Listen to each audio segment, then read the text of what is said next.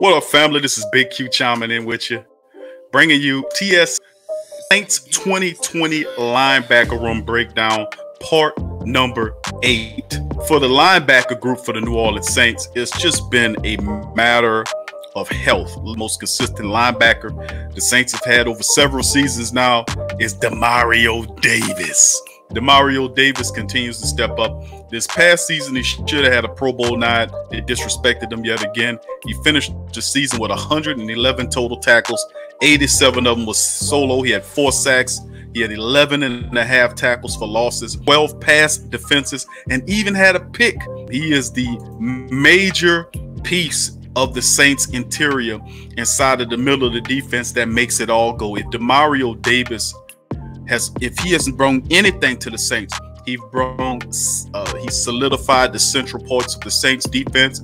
He has been an absolute stud. It's been a major disrespect that he has not been uh, chosen for a Pro Bowl appearance, but he is clearly the best Saints linebacker of the past several seasons, no doubt about it. His intensity, his determination, his focus, his leadership is one of the key reasons that the Saints defense continue to be more impactful going into the season. Now, Demario has one season left on his current deal. Hopefully, the Saints can get a deal worked. Moving on to the next linebacker situation behind Demario is that a guy that has a lot of pressure on him on his shoulders to carry the day. And of course, he's had several injuries for one of his shoulders, and he'll have to show with that one year left on his deal that he can be the guy the Saints think he is. Alex Anzalone is that person that I'm speaking about. And Alex Anzalone, when he's on the field, he's impactful, severely impactful. The issue is injuries, making it and staying on the field. As far as Alex Anzalone is concerned, played in two games last year and finished the season ultimately with seven total tackles.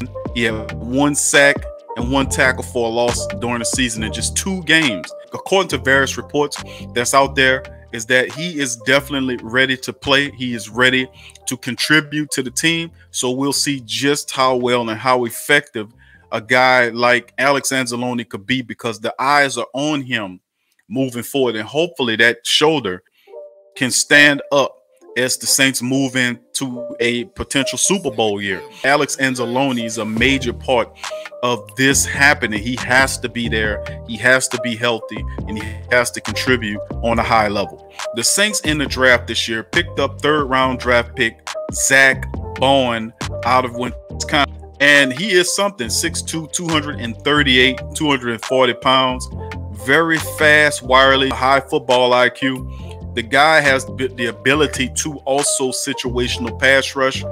He can play the pass for you. The kid has a high motor uh, who who will come in and play a huge role for the Saints in this upcoming season. I believe that uh, that he will more than likely be the third linebacker, and he will contribute uh, for the Saints team in that regard. The only free agent linebacker that the Saints did bring in in terms of an experienced linebacker is Anthony Chickillo, who comes over from the Pittsburgh Steelers. Now, Chickillo is a guy that the Saints picked up, and they believe that he can help them in many ways. I think this this could spell doom for Craig Robertson, who the Saints have been trying to get rid of for the last several seasons.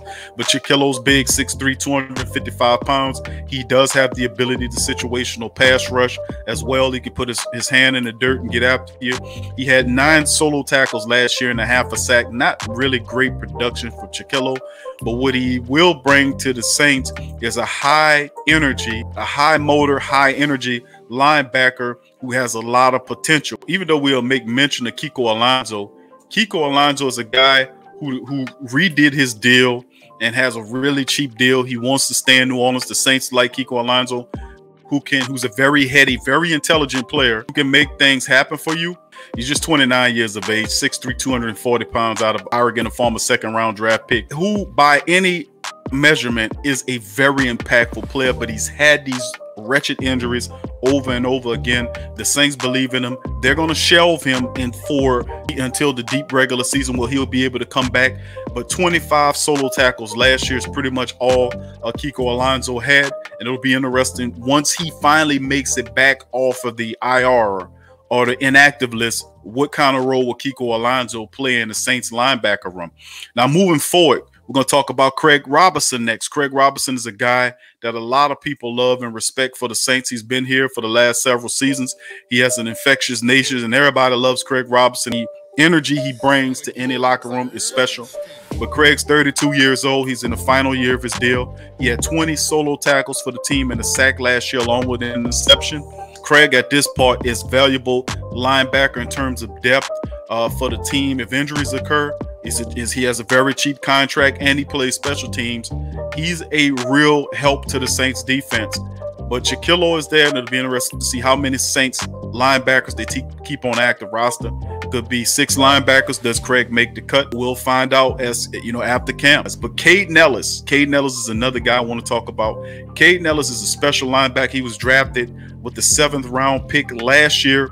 Last year in preseason, Kaden Elliss was running the defense. He was calling the plays. He was playing sideline to sideline. Has a lot of speed and a lot of potential. Very intelligent player, very well liked and respected player. And the future is bright for Kaden Elliss. It'll be interesting to see just how well or what the Saints do with Kaden Elliss because I like how the future linebacker room of the Saints are looking with Kaden Elliss and Zack Baun, Alex Anzalone, if he can shake his injury, the the linebacker room is no longer a weakness.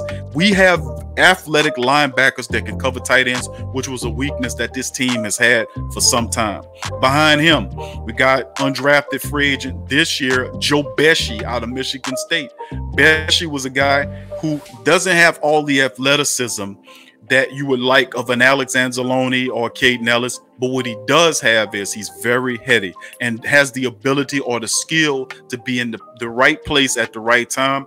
He has great awareness to be able to see plays develop, to be able to stick his nose and make plays happen. This guy was really productive at Michigan State despite his, his athletic limitations. But that just goes to show you when you put tape on a Joe Bachie you see a linebacker there. And I will say this Joe Bachie, in my opinion, you know, barring injury, that this kid will be on the Saints team, active team, the final 53 when it's all said and done. And I just consider him, I would call him a poor man's Luke Kuechly. And I know that's a lot of praise to heap on him, but I love his mentality, his tough mentality, and his football IQ.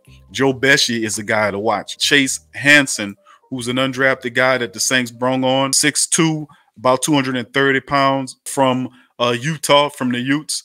He was a three-year starter at Utah. All, he's very versatile.